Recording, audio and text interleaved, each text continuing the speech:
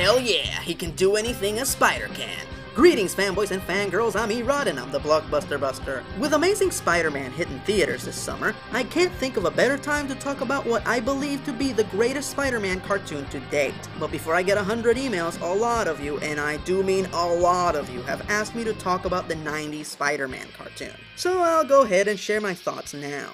This is one of those shows that I loved as a kid, but I can't stand as an adult right along with the 1987 Ninja Turtles and the Super Friends. I respect that it has a strong fan base, and I agree that there were worse cartoons on at the time, but I still can't stand it. Let's talk about the good stuff first. I genuinely believe that the show had decent animation, and that it was a good representation of the early 90s Spider-Man universe, and that Spider-Man's dialogue for the most part was very funny. In fact, this was the second show I ever watched as a kid, which I saw every single episode as it aired. The other one was Rescue Rangers if you're curious. But anyway, all I'm saying is, believe me, I know the show really well. With that said, here are the things that repelled me. Number 1 the focus. Yes, there were a few good stories here and there during its five year run. But the mass quantity of the time, the focus of the show would go to a new villain that was being introduced or Spidey teaming up with another superhero, as opposed to focusing on his personal life and how it clashes with being a superhero. I swear, this show had more superhero team-ups than Justice League, and only a handful of them were any good. Number 2. The voice direction and the dialogue stinks. The characters over enunciate, point out the obvious, and constantly state aloud what they're going to do before they do it. Spider-Man, for instance, can't shut the fuck up. His inner monologue goes on and on and on and on whether he needs to be talking or not. Quit griping, Parker. You know what's really bothering you. You're scared. This lizard creature is powerful enough to tear you limb from limb, but you can't even hurt him, because trapped inside is your friend. But I have to fight him. It's the only way to stop him, to save him. Well, isn't this the story of my life? Yes, I know, he has a lot of inner monologue in the comics, but it's a comic book. You need that to facilitate the story. Cartoons are a visual medium. Half of what he's babbling about could be established visually. Let's take Batman for example. Batman finds a clue, he just looks at it and goes, hmm.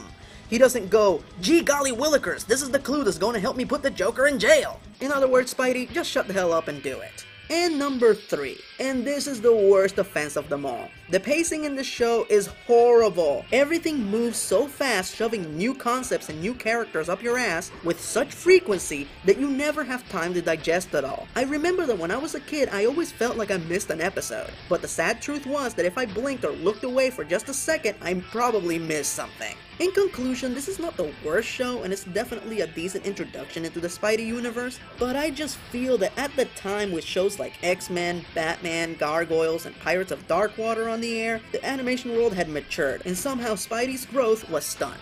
A lot of you have asked me to share my thoughts about the new Ultimate Spider-Man cartoon. Well, as I'm recording this video, I've only seen two episodes, and they were both terribly annoying. I really didn't care for all the breaking of the fourth wall, and I especially didn't care for them turning Luke Cage and Iron Fist into teenagers. It seems like they're desperately trying to be like Teen Titans. But like I said, I've only seen two episodes, so I'm gonna give the show a chance and finish watching the season before I make a final decision as to whether I like it or I hate it. But so far, just by going by the first two episodes, I am not impressed. Alright, now let's move on to the show that did the webhead justice Spectacular Spider Man. Initially created to ride the lightning of the Spider-Man movie franchise, Spectacular Spider-Man was Gargoyles creator Greg Weisman's love song to the Spideyverse, as it plays tribute to the Spider-Man comic book eras of the 60s and 70s, all the while giving the mythos a modern twist. The plot. For those of you who should be returning your geek cards, the show follows the adventures of Peter Parker, an average kid who gets amazing spider powers from the bite of a radioactive spider, and decides to employ them to fight crime under the guise of Spider-Man. This show, however, focuses on Peter's high school years, which are greatly skimmed over in the films and are never touched upon in the 90s cartoon. Cast and characters.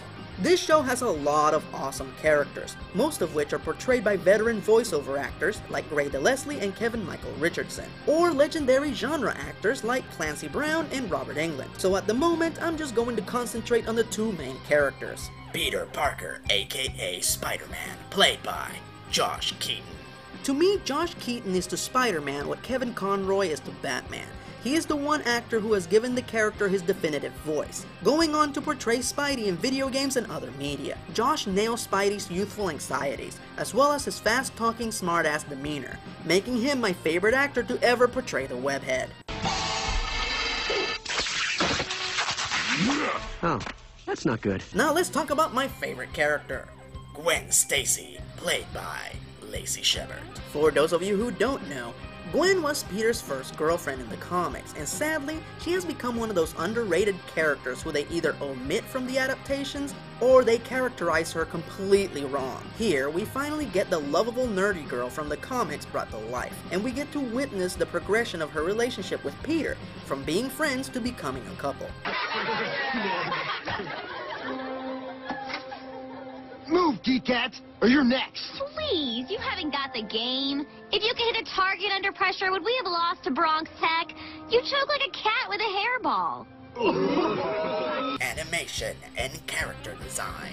Like all the other Marvel shows from this era, the animation is awesome. As far as I'm concerned, this is the only animated Spider-Man show to fully capture the motion and amazing agility of Spider-Man. The character design, however, is one of the few areas where this show falters. I remember a few of my friends initially refused to watch the show because they felt that the characters looked too soft and childish, like they were initially designed to be preschool toys. This usually doesn't bother me. I like clean, angular, stylized character design. However, I still feel like there were a few very poor choices made with some of the designs. Some characters, like Spider-Man, Vulture, Sandman, and Venom look awesome, and I especially like how they made Spidey's eyes look like Steve Ditko's original design. However, other characters like Dr. Octopus look like they belong in a Nick Jr. show. Okay, let's look at both ends of the spectrum, the best design and the worst design. The best design is Electro. Now this is a mass mass improvement over the Mardi Gras mask and the yellow booties from the comics. The worst design is the Green Goblin. He just doesn't look like the Green Goblin. He doesn't look scary or creepy. He looks happy and lovable. He's not the Green Goblin. He's Jimmy the Happy Elf. Beware his hugging powers. And speaking of powerful things, Stan Lee Cameo! Behold! I am Mysterio, here to save the world from the evils of technology corrupting the human spirit. Are we being punked? I hate that. Silence, fool! Excelsior! Oh. Final verdict. Sadly, in spite of all of its inherent awesomeness, this show was still cancelled after just two seasons. Apparently, Greg Weisman tried to negotiate for a third season, but this was during the time of the Marvel merger with Disney, and because there were more pressing matters on the horizon, Spectacular Spider-Man got lost in the shuffle. You'd figure that an animated show based on one of the most popular superheroes on the planet would be money in the bank and worth preserving, but go figure.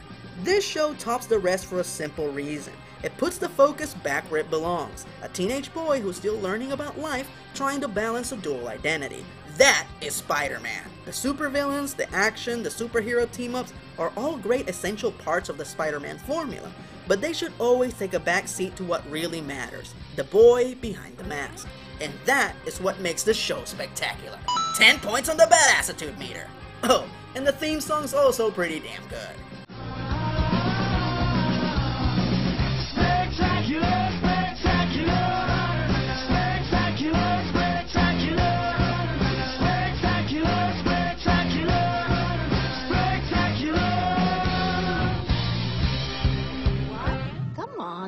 Lazybones. Aunt May, I'm not decent. All right, calm down. There's breakfast waiting downstairs. I'll be at Mrs. Watson's.